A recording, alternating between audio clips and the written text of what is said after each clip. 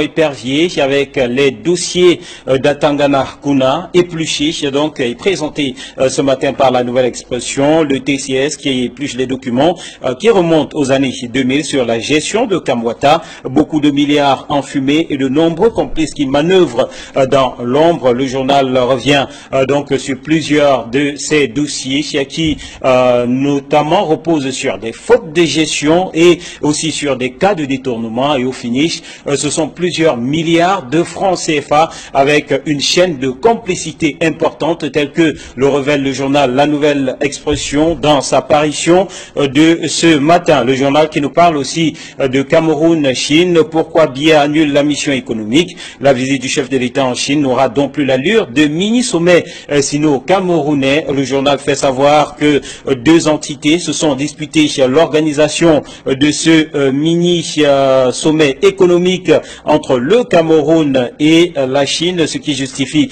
cette annulation. Le comité d'organisation des GCAC, entendu chez les journées économiques, industrielles et commerciales du Cameroun en Chine, qui a peaufiné la préparation de ce mini-sommet et a rendu compte au président de la République, faisant d'ailleurs savoir qu'elle avait l'habitude de ce type d'organisation qui devait reposer sur une semaine avec au programme des conférences, des foires expositions, des rencontres B2B et des découvertes. Euh, et il y a un événement qui était prévu en novembre, puis avait été renvoyé et avait été calé au programme du chef de l'État, alors que de l'autre côté, le Minépat euh, concoctait aussi un programme pour des journées économiques Cameroun-Chine à l'occasion de cette visite du chef de l'État Paul Biya en Chine. Et à la dernière minute, le président de la République a semblé privilégier la piste du Minépat, ce qui a poussé les organisateurs du GCAC à, à déposer sur la table du chef de l'État une lettre incendiaire. Celui-ci a finalement pris la décision d'annuler donc ce mini-sommet économique. Le journal parle d'enlèvement des fonctionnaires et Maurice Canto qui condamne le silence de Paul Biya. Le président du MRC dénonce l'attitude du chef de l'État face à l'escalade de violence au nord-ouest et au sud-ouest. Paul Biya qui refuse de s'exprimer sur le sujet. Le président du MRC rappelle d'ailleurs que lors du dernier conseil ministériel, Paul Biya n'a rien dit à propos de ces enlèvements de fonctionnaires. France, Libye, Kadhafi poursuit Sarkozy. L'ancien président français gardé à vue est entendu sur les soupçons de financement illicite pendant sa campagne victorieuse de 2007. Place à présent au journal L'œil du Sahel qui parle de gouvernance ce matin et s'interroge sur comment bien fragilise les gestionnaires publics. Le cas du directeur général de Camtel, une fragilisation qui, selon le journal, ne pousse pas à une optimisation des résultats de ces différents hauts fonctionnaires. L'épée de Damoclès qui plane en permanence sur la tête de ces hauts fonctionnaires et le journal de s'interroger pourquoi est-ce qu'une fois que le compte supplie est euh, sur leurs traces. Pourquoi est-ce que ces hauts fonctionnaires ne démissionnent pas? Et le journal de conclure que, euh, contrairement à ce qui se passe sous d'autres cieux, au Cameroun, la culture de la démission n'est pas la chose la mieux partagée. Le journal Info Matin, ce matin, parle de maintien de Madeleine Tuente au gouvernement et le département du Kunki dans la région de l'Ouest qui dit merci à Paul Biya. Les forces vives de ce département de la région de l'Ouest promettent par ailleurs un plébiscite au chef de l'État lors de la prochaine élection présidentielle. Mafia foncière acribie dans les colonnes du journal Info Matin qui parle d'agression à la machette, des agressions qui se multiplient au nom de Koun Abiseke, deux assauts en cinq jours seulement par des gens se réclamant d'une ministre qui veut s'accaparer d'un terrain privé dans la cité balnéaire. Le journal Le Soir, lui, parle aussi d'opérations épervier et de saltan pour les gestionnaires indélicats, de nouvelles interpellations, ministres, ex-directeurs généraux et ex-recteurs et cadres de sociétés qui sont visés par l'opération euh, épervier. Euh, le journal, l'anecdote reste aussi euh, sur l'opération épervier et titre donc sur les raisons du coup de balai. le journal qui rappelle que depuis lundi, cinq personnalités sont aux arrêts, quatre dans les couloirs du tribunal criminel spécial, une vingtaine interdites de sortir du territoire national. Des raisons qui sont à aller chercher dans des fautes de gestion et aussi dans de nombreux détournement euh, observé. Euh, le journal euh, Le Quotidien de l'économie lui parle de diplomatie et de ce déplacement du chef de l'État Paul Biya du côté de la Chine. diplomatie économique dont le raté de Paul Biya nous dit le journal Le Quotidien de l'économie ce matin qui précise que là où d'autres chefs d'État prospectent trouvent de nouvelles, de nouveaux débouchés, décrochent de bons de commande, des financements pour les entreprises de leur pays, les hommes d'affaires camerounais dénoncent l'annulation du forum d'affaires annoncé en marge de la visite du président de la République euh, qui s'ouvre demain en Chine. Le journal Émergence euh, parle ce matin d'opération épervier. 12 ans d'inefficacité. Aujourd'hui, on est encore à agiter le spectre des arrestations.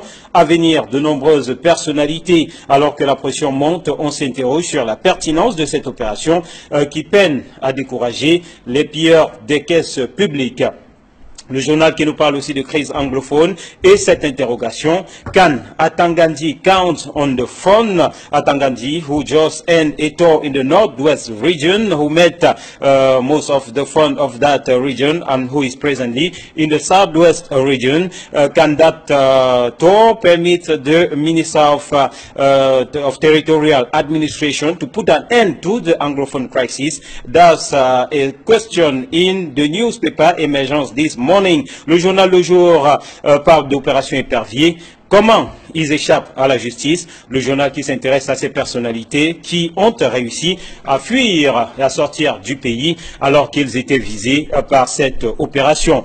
Cameroun Tribune parle ce matin de Chine-Cameroun et Paul Biya qui sera demain à Pékin, le journal qui revient sur les préparatifs de cette arrivée en fanfare du chef de l'État euh, du euh, côté donc de la Chine. Et on termine avec Mutation qui s'intéresse à l'opération épervier.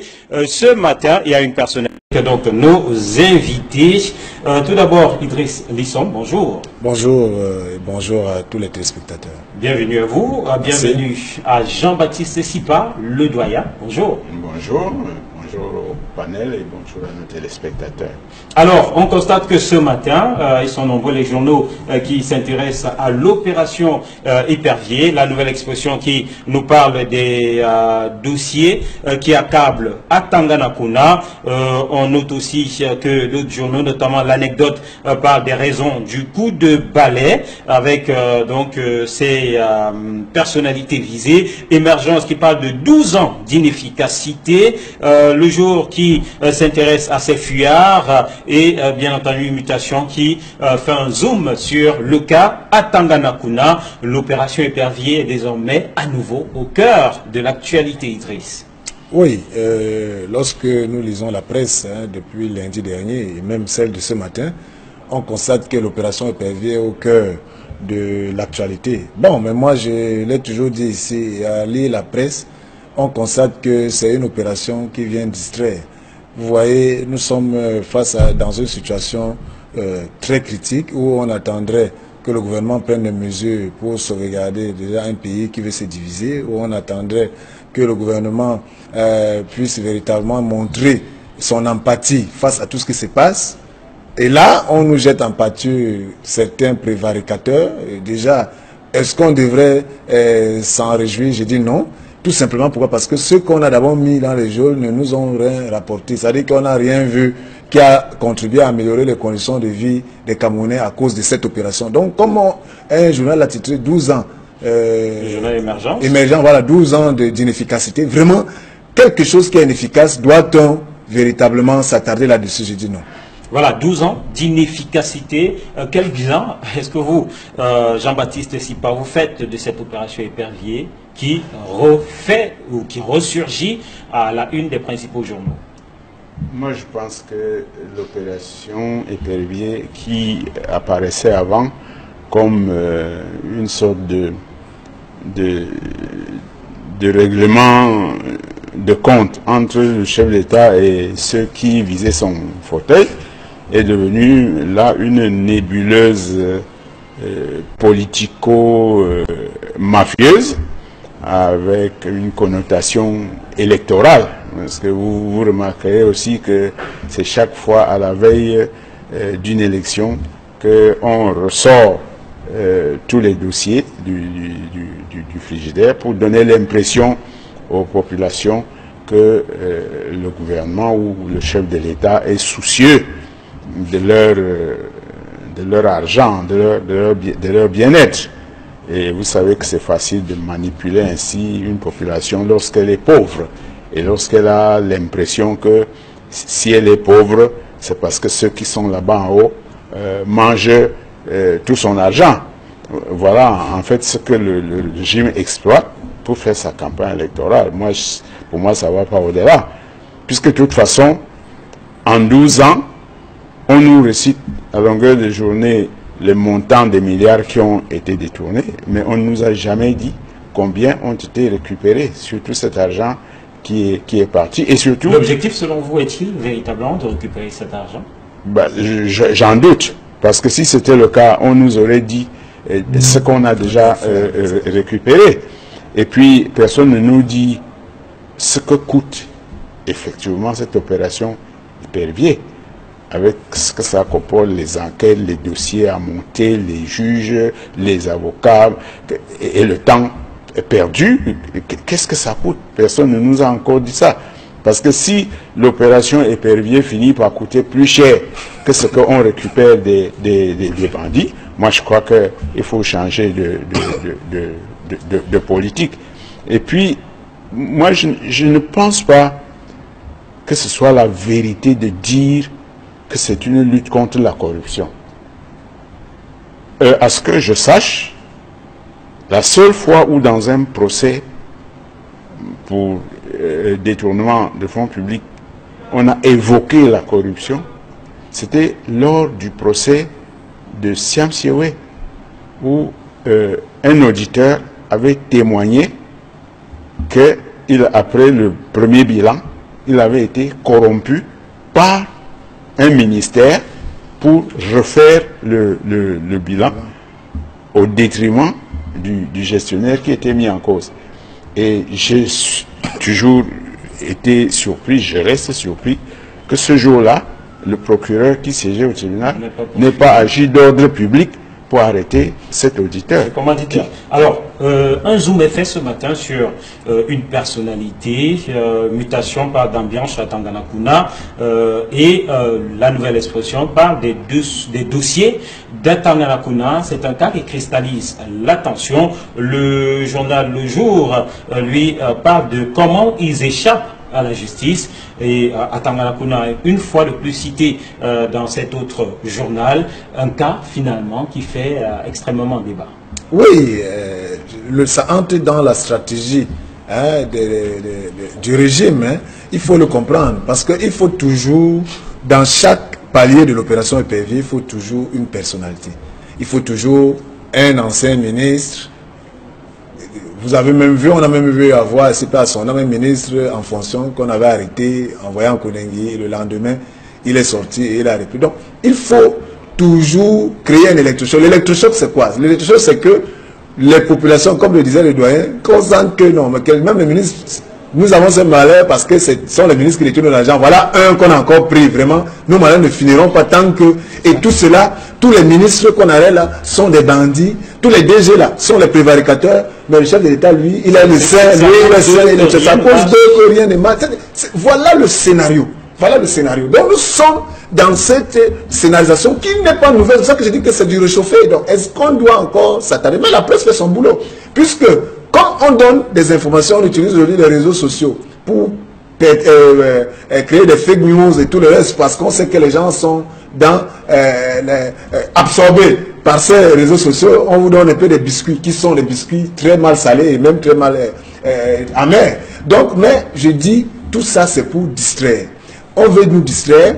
Voilà une élection sénatoriale qui se tient dans des conditions médiocres avec un euh, des conseils municipaux, un collège électoral qui n'est même pas déjà celui qui devait être. Parce que où sont les conseils régionaux? Personne ne s'interroge. Voilà les élections sénatoriales qui arrivent dimanche avec les conseils municipaux qui sont en fin de mandat et qui viennent voter les gens pour 5 ans alors qu'ils ne sont plus véritablement légitimes. Personne ne s'interroge. Voilà une situation où on veut, comme on est à la veille de la présidentielle, nous démontrer que les ministres sont des bandits, les DG sont des bandits, le chef de l'État, qui est empressé d'être le chef bandit, lui, il est saint.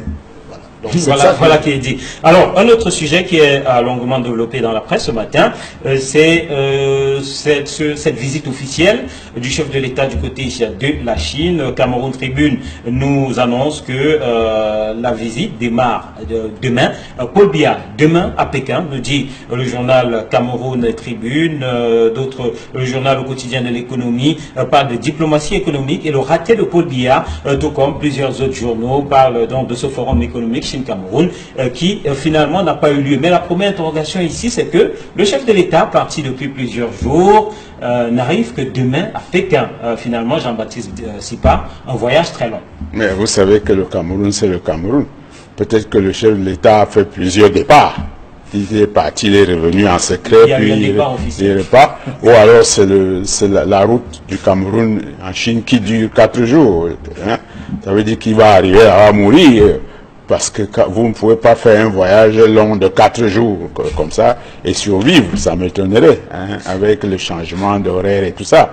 Bon, mais peut-être comme c'est un miraculé, bon, on faut penser que il va bien euh, arriver, puisque le journal euh, va arriver. Dimanche, on nous a annoncé qu'il partait pour la Chine. Aujourd'hui, on nous annonce que c'est demain qu'il part pour la Chine. il, faut bien que... Il a demain à Pékin, donc il Oui, c'est pour ça que je dis que c'est vraiment le, plus long voyage du, d'un chef de l'État. Alors, à côté, il y a ce forum économique sur Cameroun qui a été annulé et qui continue à faire les choux gras de la presse. Euh, on apprend de la nouvelle expression ce matin que euh, c'est Paul Biya en personne qui a décidé d'annuler en raison de la cacophonie autour de l'organisation de structures pour organiser cette, euh, ces journées économiques, les GESIAC et le MINEPAT. Et finalement, Paul Biya a tranché en disant niet. Oui, parce que nous sommes habitués des dernières minutes, rien n'est préparé. Et si ce voyage de la Chine a été préparé, il a été préparé pour le chef de l'État pour des intérêts qui n'étaient pas des intérêts économiques. Parce que si c'était les intérêts économiques, je suis sûr qu'on aurait pris une vraie agence. De, il y en a des agences spécialisées pour organiser ce type de choses. Vraiment, ce n'est pas... Il y en a au Cameroun des agences conseils en communication, des agences de lobbying. Ça existe désormais. Il y en a sur la place internationale qui existe. Donc, pourquoi à la dernière minute on se trouve où on vient dire, mais le chef d'État va partir, quel est le contenu? Ah, il, faut, il y a quelqu'un qui fait les journées économiques internationales, Cameroun, Chine, il est là depuis l'année, c'est même prévu en avril. Non, allons le voir pour dire que l'on ramène ça par un chef d'État pour qu'il y ait du contenu dans ce que nous allons faire. C'est de ça que En temps, le de ce qui dit, mais le chef d'État part, ça peut être une opportunité, parce que là-bas, les gens calculent les missions, les trucs, ce n'est pas l'intérêt du Cameroun qui est, c'est ça qui est terrible. Et, mais enfin, la réalité est que dans cette mission, le chef d'État va préparer la campagne électorale. Il est parti pour signer le contrat pour les t-shirts, les gadgets, puis vous verrez de toutes les couleurs. C'est de ça qu'il s'agit. Mais il fallait maintenant en bas mettre ça dans un bon habillage pour qu'on se dise que non, Mais franchement, en 2018, il faut que ces genres de choses s'arrêtent. Voilà comment le chef de l'État lui-même sent que les collaborateurs ne sont pas prêts face au Minipat, face au G4 et le G4 qui a pondu une lettre, quand on lit la nouvelle expression, on est scandalisé. On, est même, on a même la chair de poule pour se dire, mais on est dans quel environnement? Il a été, cette fois-ci, il a tranché, dit, niet, rien. Ni le GK, ni, le oui, pas. donc, il faut, on va y aller comme ça. Et voilà 115 opérateurs économiques qui sont, euh, euh, qui sont fustigés, blessés euh, pratiquement dans leur chair, tel que nous rapportent les journaux. Et le, le quotidien de l'économie dit, pendant que d'autres chefs d'État qui se rendent en Chine s'y rendent pour signer des gros contrats, pour permettre ce type de rencontre, ce foisonnement entre les opérateurs économiques, Paul Biya, tirant seul, et voilà une opportunité économique qui est gâchée. Oui, mais encore une fois, le Cameroun, c'est le Cameroun. Euh, euh, euh, Ayatou, Sadou, Sadou Ayatou, c'est ça, avait dit ça parce qu'il avait réussi le tour de force d'organiser la tripartite avec réussite, avec réussite, au grand étonnement de tout le monde. Mais je crois qu'on peut appliquer ça à beaucoup d'autres situations au Cameroun. Qui, il y a des choses qui ne se passent qu'au Cameroun et qu'on ne peut voir nulle part ailleurs. Et moi, je, je ne traite pas ces choses-là séparément les unes des autres. Je crois que c'est un problème de gouvernance. Le Cameroun a un véritable problème de gouvernance. Lorsque deux une organisation de la société civile, je suppose, ou mixte, et le ministère de l'économie se dispute l'organisation d'un voyage officiel du Ça veut dire que le pays n'est pas gouverné. Parce que le rôle d'un chef d'État qui gouverne, c'est de faire les arbitrages. Et l'arbitrage ne consiste pas à, trouver euh, euh, une solution absurde à des situations absurdes. Parce que dire que bon, on arrête, personne ne part, ça ne veut absolument rien dire. Ça veut dire que dans tout ça, derrière tout ça, comme dit Idriss, il n'y avait pas le Cameroun, il y avait des intérêts particuliers. Bon, alors, les, chefs d'État qui vont avec des délégations pour signer des marchés et tout ça, c'est parce qu'ils y vont dans l'intérêt de leur pays. Ils ne vont pas dans l'intérêt de leur maintien au pouvoir ou de leur campagne électorale. Voilà qui est dit. Et très rapidement, on va épiloguer sur ce sujet. Une réaction en une seconde chacun. Maurice Camto qui a fait une sortie et qui critique euh, donc le mutisme de Paul Biya face à, face à l'enlèvement des fonctionnaires. En 30 secondes, euh, une autre sortie qui fustige ce mutisme devenu légendaire. Oui, mais légendaire, vous savez, qui a même valu une thèse de doctorat. Donc, euh, comment, comment, voilà, comment, là où la thèse de doctorat promet ce silence, voulez-vous que le concerné change? Donc, moi, je pense que Maurice Kanto rappelle seulement l'opinion publique de marquer cela en point d'or et que le moment venu, on verra si les silences ont eu raison ou pas. Voilà, euh, cette sortie. Tout à fait, moi je suis d'accord avec euh, Maurice Camteau, je crois que... Qui, qui, s'offusque du fait que lors du dernier conseil ministériel, rien n'a été dit là-dessus. Mais c'est coutumier, euh, dans son discours de fin d'année, combien de, mots, combien de phrases le président avait prononcées sur la crise anglophone C'est la même chose. En fait, les vrais problèmes du Cameroun ne l'intéressent pas. C'est ça qu'il faut conclure. il survole le Cameroun avec ses propres problèmes qui converge vers son maintien au pouvoir. Point bas. Voilà. Merci à vous, messieurs. Driss Lisson, bon retour dans vos rédactions. Merci à vous, doyen Jean-Baptiste Sipa. Merci à vous, chers téléspectateurs, d'être restés en notre compagnie. Demain est un autre jour. Je vous souhaite